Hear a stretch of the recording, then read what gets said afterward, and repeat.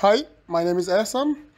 I'm going to talk about the Block Management Plus command. Block Management Plus command is the command that you can find through Rhino Plus plugin. Rhino Plus plugin is a uh, is plugin for Rhino. It's available in Food4Rhino. You can download it from there. And the Block Management Plus is the command that gives you more option to categorize your blocks. In the designing, sometimes we have lots of block and finding them is, is a little bit hard because of the number of the block that we have in the same, uh, same file.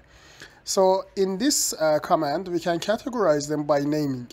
Okay, the thing is, for example, here I have three type of the door and one window. And maybe we have other block as well. For example, I create the box, then I convert it to block later. Okay, so I'm going to uh, put the name for the blocking. If if I want to put the name, actually normal name, it all goes through the block management, block manager actually here. It goes all here and you can see it here without any categorization. So we can categorize it through here by just little bit changing on their name. For example, I'm going to make this object as a block. So I make it block. And when I'm going to select the name and type the name for it, I type door. After that, I type two colon, uh, meaning that go to the next category. Then I type it transparent, then colon, for example, and sliding door. Press enter. Then for this one, I'm going to type again block, then type door, two column. Then I'm going to type solid two column and uh, hinge door. For example 2 and I can copy and paste this text here for the next one.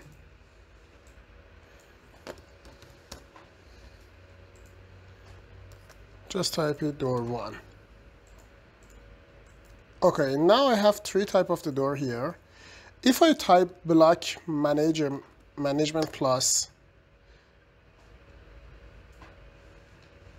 you see that this one is opening actually. You can see the categorizing door. And if you click on it, you can see the transparent solid. If I am going to select solid and uh, one, two, for example, I'm select one, and then I can insert it anywhere I want.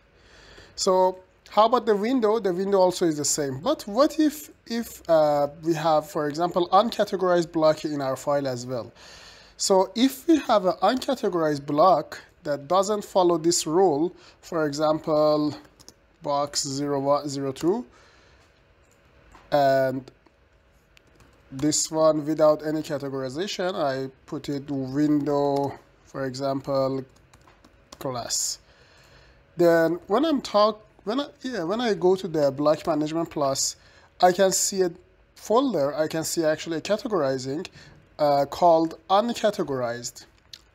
Those who uh, those actually item without any uh, categorization or those items that doesn't follow that rules, they all go through here. So actually you will have all of your block here if you don't follow that rule. But if you follow them, you can by that rule you can actually categorize it through here. So if I change this name to the window two colon then type it glass for example two colon and big window. So I'm going to go to the block manager plus then you can see I have a window. It is not anymore here actually, it goes there. So window, glass, big window, then I click here, we have it. That's all and thanks for watching.